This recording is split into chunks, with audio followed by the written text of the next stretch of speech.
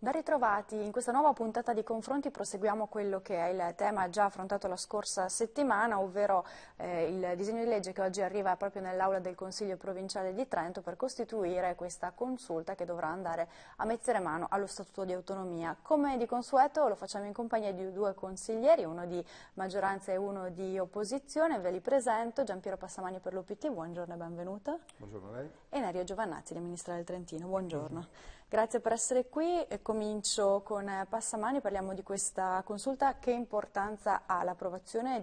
e la formazione di questo, di questo, organismo che dovrà andare insomma, a mettere mano a una cosa fondamentale per noi, qual è lo Statuto di Autonomia? Ah, guardi, eh, di straordinaria importanza, ovviamente di temi che arrivano nella, nel massimo vertice legislativo, cioè la provincia, per quello che ci riguarda, sicuramente lo è. Ovviamente insomma, è anche un atto dovuto per quello che riguarda il momento, nel senso che comunque eh, di fare una revisione su quello che riguarda la Regione ce n'è bisogno, di questo penso che tutti ne siamo d'accordo. Prova ne sia che il 90% dei consiglieri o meglio di capigruppo hanno firmato questo disegno di legge che appunto andrà in aula da oggi. C'è da dire insomma, che il vento che tira a livello romano sicuramente non è dei migliori, insomma, tutti i giorni troviamo degli attacchi, degli attacchi purtroppo pesanti per quello che sono in generale tutte le, le, le regioni a statuto speciale. Io credo insomma, che invece dobbiamo assieme, difatti la consulta ha questo senso qua, assieme lavorare non solo quello che è la parte ovviamente politica amministrativa, ma anche come lo è la consulta sarà formata anche dalla società civile società civile che porterà il suo contributo, il suo contributo che è stato determinante nella storia perché l'autonomia l'ha sicuramente pensata e disegnata dei personaggi storici che andiamo a ricordare sempre, li ricordiamo con affetto e anche con, con forte sincerità per quello che appunto ha potuto dare, però soprattutto è stato grazie a quello che è il modo di operare nel Trentino, Trentino Alto Adige in particolar modo, sì che tutte le associazioni, tutte quelle che sono quel mondo di volontariato che ci caratterizzano anche rispetto al, al resto d'Italia. Detto questo, insomma, chiaramente l'importanza perché? Perché comunque sia nella convinzione che anche quello che abbiamo dimostrato con un buon governo appunto della provincia autonoma di, di Trento e di Bolzano ha portato sicuramente di forti risultati. E io ne sono convinto, l'ho sempre dichiarato anche nei vari miei interventi, sia sulla stampa che anche in aula, che comunque sia questo sistema un sistema da esportare, non da cassare come qualcuno in sede romana vorrebbe sta percorrendo. Lo dico perché il buon governo insomma, ha dimostrato insomma, efficienza, ha dimostrato forti risposte in, su tutti i campi, sicché io credo insomma, che questo è un modo di lavorare. Su quello che riguarda ovviamente eh, i cambiamenti ci deve essere, deve essere una regione molto più snella, deve essere innanzitutto un asse al 100% con Bolzano, ma io direi anche andare oltre confine, che su quello che riguarda il Tirolo, insomma questo è quello che do noi dobbiamo lavorare assieme, è nata con questo sistema appunto su due livelli separati, se vogliamo, fra Trento e Bolzano, ma comunque sia, questa era, era una strada che diversamente non potevamo percorrere, ma già è un buon punto di partenza per far veramente crescere e fare un cambiamento della regione perché comunque sia, come ripeto, è un modello di esportare e non sicuramente da eliminare. Torno alle sue prime parole, firmata dal 90%, Nerio Giovanazzi anche lei l'ha firmata, però non è completamente d'accordo su questo testo? Io sono fra i firmatari di questo disegno di legge per la costituzione della consulta, non l'ho fatto con entusiasmo, io avrei preferito sinceramente che ci fosse stata una partenza assieme a Bolzano, eh, già questo nota, mette in evidenza le differenze. E ritengo comunque che sia un passaggio importante proprio perché c'è il coinvolgimento della, partendo dal basso, della gente partendo dal basso, questo è un fatto molto importante. Purtroppo eh, devo dire eh, l'avvio di questo confronto eh, a Bolzano non è che abbia dato dei buoni, eh, dato dei bei segnali perché eh, è tornato eh, riemerso il discorso, sono riemerse le nostalgie praticamente, l'autodeterminazione, secessionismo, madre patria e credo che non sia una buona carta di presentazione per quanto riguarda eh, poi il percorso che questa eh, proposta dovrebbe fare per arrivare eh, a Roma. Noi abbiamo bisogno sicuramente di rafforzare e mettere in evidenza le nostre peculiarità, eh, credo che un paese si arricchisca anche attraverso proprio eh, le peculiarità, rafforzamento delle peculiarità dei territori. Noi dobbiamo fare in modo che rimangano alcune risorse anche eh, sul territorio. Io parlo ad esempio dell'energia, dovrà essere un problema che dovrà essere sicuramente affrontato e difeso perché eh, proprio per lo sfruttamento idroelettrico noi abbiamo anche sacrificato un po' il territorio e oggi si guarda a, a questo eh, settore eh, con interesse perché naturalmente produce anche eh, ricchezza. E credo anche che eh, non ci sia un'idea chiara del ruolo che dovrebbe, dovrà svolgere la Regione si è sempre considerato, è inutile nasconderlo, si è sempre considerata la Regione un eh, soggetto istituzionale cuscinetto fra Trento e Bolzano. In effetti la Regione è stata svuotata di competenze, sono rimaste le competenze ordinamentali per quanto riguarda i comuni, eccetera, il welfare, qualche parte del welfare, ma in pratica, su spinta soprattutto di Bolzano, è stata svuotata la Regione ed oggi eh, nessuno è in grado di dire cosa potrà svolgere la Regione in futuro. Io però credo che eh, si debba, eh, mi passi questo termine, inventare qualche cosa proprio perché il soggetto Regione deve rimanere, deve rimanere. Noi abbiamo sempre fatto una battaglia proprio per, a difesa della Regione perché credo che nel momento che eh, dovesse sparire la Regione eh, si creerebbero due realtà completamente diverse e non nascondo il mio modesto parere è anche che questo, se si creasse una situazione di questo tipo eh, sicuramente la posizione di Bolzano, di Trento si indebolirebbe. Ecco, e concludo per dire che abbiamo anche delle difficoltà, l'ha accennato anche il collega Passamani, non abbiamo più a Roma i referenti di una volta, non abbiamo più gli Andreotti, Cossiga, i Berloffa, che conoscevano la storia dell'autonomia e sapevano l'importanza che poteva rivestire l'autonomia all'interno di un contesto anche nazionale e oggi mirano ad avere dalla, dalle regioni autonome soldi. Uso questo termine soldi perché dà l'immediatezza. Ecco, il confronto è solo sulle, eh, eh, sulle risorse. E se guardiamo, noi eh, abbiamo fatto un percorso che non è perché eh, vogliamo autolodarci, ma credo che abbiamo fatto un percorso eh, diverso rispetto adesso, ad esempio alla Sicilia, che continua a chiedere soldi anziché mandarne alla sede centrale, continua a chiederne e noi invece credo che abbiamo dato un contributo eh, sia per quanto riguarda i trasferimenti in sede eh, romana, ma anche per quanto riguarda la crescita eh, di un territorio, perché questo territorio in questi anni, non è inutile negarlo, è cresciuto e la differenza si, si nota. Insomma. Di autonomia sotto attacco si parla già da parecchi anni ormai e spesso si va proprio a colpire l'aspetto economico della cosa, si parla dei nove decimi delle tasse, in realtà con uno sbilanciamento delle competenze secondo lei bisognerà mettere mano anche a rivedere insomma, le percentuali che vanno a Roma e che rimangono a Trento? Eh, di fatto bisogna dire che questo lo è già, nel senso che comunque dal patto di Milano e anche dall'accordo di Roma,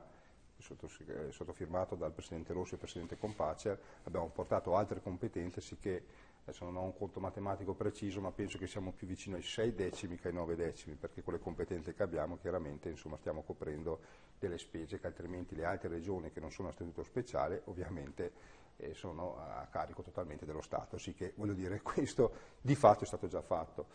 Che dire, c'è da dire una cosa, che ovviamente lo Stato ha messo le mani in tasca a chi ce li ha, insomma, no? questo è il vero dramma, perché quello che è stato il prelievo che abbiamo concorso al risanamento della finanza nazionale è stato sicuramente pesante, ma solo noi potevamo fare, ma questo dimostra ancora una volta, l'abbiamo fatto anche volentieri, non sicuramente con entusiasmo, insomma, però comunque è stato fatto nel senso che comunque sia comunque ha un senso il Trentino se c'è anche l'Italia che va bene, insomma in questo senso qua, sì che ben venga. Chiaro che, come dicevo prima, dobbiamo, dobbiamo assolutamente rafforzare l'asse Trento-Bolzano. Dico questo perché io intravedo, senza parlare del passato, un rapporto molto più stretto di due presidenti in questo momento. Io mi auguro che questo sia di buon auspicio per far sì questo di, veramente di fare il lavoro da assieme, perché sennò il rischio è altissimo per tutti noi, come citava giustamente il collega, ovviamente eh, le due province vanno su due strade separate, la regione proprio non ha nessun senso. È chiaro che deve essere una, una regione molto snella, eh, anch'io e tra l'altro nella mia relazione l'avevo segnalato quel mondo dell'energia, perché anche dal mio punto di vista l'energia è una delle competenze che deve essere della Regione, perché ovviamente bisogna cercare delle competenze che siano che abbiano un senso per vicinanza limitrofa, anche perché altrimenti, voglio dire, a volte ci troviamo a discutere leggi sugli enti locali con due livelli totalmente diversi, questo lascia un po' il tempo che trovo da un certo punto di vista, insomma, perché i problemi dei comuni trentini non sono i problemi dei comuni bolzanini, no? dell'Alto Adige. E allora questo per dire insomma, che eh, ovviamente ci sono delle competenze che hanno un senso che esistono a livello appunto totale della regione autonoma Trentino-Alto Adige. Ecco, credo molto in questo rafforzamento che ci aiuti poi a dialogare ovviamente col Tirolo, insomma, ecco, questo senza ombra di dubbio. Insomma, per quello che riguarda a livello romano, eh, non c'è dubbio che eh, nei tempi che furono insomma, avevamo dei forti collegamenti, dal mio punto di vista abbiamo delle persone comunque responsabili che stanno lavorando anche, anche oggi, che ci possono aiutare su questo, però non solo sulla parte economica, ma giustamente portando avanti quello che è il valore culturale di cosa vuol dire autonomia, che sicuramente non è solo esclusivamente i 5 decimi, i 9 decimi, che ovviamente ne fanno parte integrante perché poi come tutte le cose insomma, camminano anche dal punto di vista finanziario, ma altrettanto vero bisogna capire il perché siamo messi così. E questa cultura dobbiamo farla capire anche fuori, non possiamo creare invidia al vicino Veneto, al vicino Lombardia. Se pensiamo al PIL che produce la Lombardia o che produce il Veneto, con il 9 decimo, il 5 decimi, facciamo il calcolo che vogliamo, dipende dalle competenze, ma restiamo su un conto matematico di 9 decimi, sarebbero due regioni effettivamente che possono fare molto meglio dal punto di vista delle entrate che il Trentino per quello che riguarda. Chiaro che dopodiché ci vuole cultura, perché dico questo? Per fare il buon governo, perché altrimenti insomma è ovvio che dipende come, come lavori sul territorio, perché questi soldi, pochi o tanti che siano, vengono usufruiti in un modo preciso e sicuramente accurato, sempre a favore dei cittadini, perché questo è il senso che ha far politica, che vuol dire popolo. Secondo lei Gianazzi cosa può fare il governo locale diciamo, qui sul territorio trentino-alto Adige a fronte anche di rappresentanti a Roma che possono essere più o meno efficienti, ma davanti a un governo accentratore possiamo agire da qui in qualche modo per far rispettare la nostra autonomia? Guardi, Bolzano ha cercato di rivolgersi ancora a Vienna, invocando l'accordo di Gasperi Gruber, la tutela di, che eh, Vienna aveva firmato la liberatoria dopo eh, la conclusione del secondo statuto. Eh, questo sicuramente non è un segnale confortante perché se eh, Bolzano ha fatto questo vuol dire che eh, a Roma non ci sono eh, aperture. Se consideriamo che ne dica qualche parlamentare anche locale che mira più alla tenuta del governo che agli interessi del, eh, della regione. Eh, in questi giorni si parla, non so se è già avvenuto, la nomina eh, al Ministro degli Affari Regionali di Costa, che è, è promotore di un disegno di legge per la soppressione delle province a statuto speciale. Questo sicuramente non è che è un segnale confortante, eh, cioè da Roma diciamo che si guarda alla, all'autonomia come eh, un popolo privilegiato. E molte volte le campagne elettorali sono state impostate proprio fuori da questo territorio sulla soppressione delle eh, province a statuto eh, speciale. E cioè mh, guardando più, secondo me, eh, sono politici eh, che non conoscono la storia. Ecco, e mi passi questo termine anche qualche avventuriero, avventuriero che specula su, eh, come posso dire, un patrimonio che è stato creato eh, negli anni con sacrifici, con, ricordiamo anche, inutile nasconderlo, i periodi del, degli attentati, eccetera, e proprio perché prima facevo accenno ad Andreotti e a Cossiga, eh, questi momenti loro li hanno vissuti e hanno compreso perfettamente eh, il valore di questo eh, eh, traguardo che è stato raggiunto e, perciò si sono anche schierati a, a difesa, non condividendo naturalmente eh, alcuni passaggi, torno a dire, dove è stato usato il tritolo, per capirci, ecco, non condividendo questo, ma credo che anche questo passaggio sia significativo per eh, sottolineare quello che è l'importanza della de, dello stato nel quale noi oggi eh, ci troviamo e quello che abbiamo raggiunto. Insomma. Qualcuno eh, quando parla di autonomia non sa cosa, sa solo pronunciare la parola e mi permetta, non è che oggi la difendiamo con eh, i canederli, eccetera. Ecco, bisogna mh, porsi su un piano, eh, un piano diverso e devo anche dire, vedo che ha mutuato, il collega Passamani ha mutuato quello che io dico eh, spesso in consiglio, e cioè che noi oggi mm, non abbiamo più i nove decimi del trasferimento delle risorse, eh, perché se consideriamo tutto quello che ci siamo presi in carico e che eh, prima di prenderselo in carico erano uh, impegni che doveva assolvere eh, lo Stato, ecco, eh, i, quei decimi si riducono eh, sicuramente, però credo che anche questo sia un segnale eh, che rafforza la capacità di, eh, dimostra, di avere, come posso dire, rafforzare la capacità di autogoverno. No? perciò lo vedo anche in positivo ecco, questo, questo passaggio che è avvenuto in questi anni e anche eh, devo dire che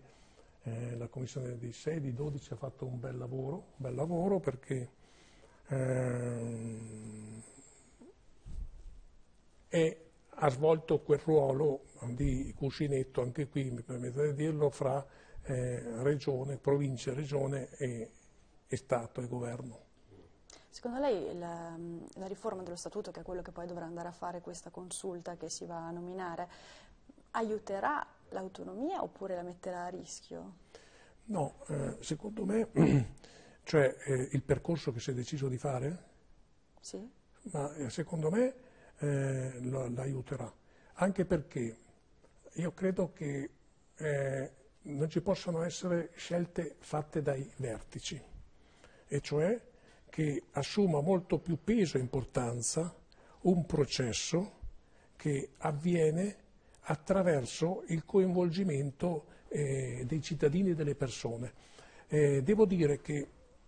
eh, in questi ultimi anni si è dato eh, tutto per scontato, e cioè quello che si è ottenuto si è dato per scontato. Oggi ci si rende conto che questo non è eh, vero, e cioè oggi dobbiamo eh, diventare tutti protagonisti, prenderci in carico un pezzettino di responsabilità per difendere quello che abbiamo ottenuto e per guardare di eh, migliorare la nostra situazione. E credo appunto che il coinvolgimento delle persone, se sarà eh, questo processo di coinvolgimento sarà guidato, eh, perché eh, altrimenti il popolo poi va per conto proprio. Se sarà un po' guidato questo processo, credo che produrrà sicuramente degli effetti positivi e rafforzerà la nostra posizione nei confronti del, della sede centrale, insomma, del, del, del governo. Eh, chiedo a Passamani, a prescindere dal discorso sulla consulta, qual è il clima all'interno del suo partito, l'UPT, a seguito di questo congresso che ha visto l'elezione di Mellarini come segretario, come, dove si guarda e quale, come lo vede il futuro di questo partito? Ma intanto sono ore di, di forte riflessione perché chiaramente è inutile negare insomma, delle difficoltà insomma, de, di questa sorpresa perché normalmente insomma, in un congresso si partecipa, c'è chi vince, c'è chi perde, non siamo le comunali, non siamo le provinciali dove c'è la maggioranza e la minoranza, normalmente si lavora all'interno. Ci ha un po' sorpreso questa uscita di scena del, eh, di Lorenzo Dell'Aia, una persona insomma, che ha dato molto al Trentino io sono convinto che può darlo ancora con il lavoro che può svolgere a Roma, abbiamo citato anche prima insomma, la, eh, il rapporto con, eh, con, con, Roma, penso che avere un rappresentante di, di statura di questo livello potrebbe, può, può essere utile. Detto questo chiaramente per quello che riguarda il futuro è un futuro che comunque mi sento di dire molto positivo, lo dico perché ho avuto la fortuna e la volontà di girare tutte le territoriali e devo dire che abbiamo, ho trovato un popolo vicino a noi insomma, che si è svegliato, che ha ripreso a partecipare alle serate, come si sa non è facile far uscire le persone la sera insomma, per quello che riguarda in particolar modo a parlare di politica, ma devo dire insomma, che tutte le territoriali hanno trovato un grande entusiasmo e questo sicuramente ci dà la spinta per continuare, anche perché l'Unione per il Trentino ha fatto prima Margherita, prima Popolari, prima Democrazia Cristiana, penso che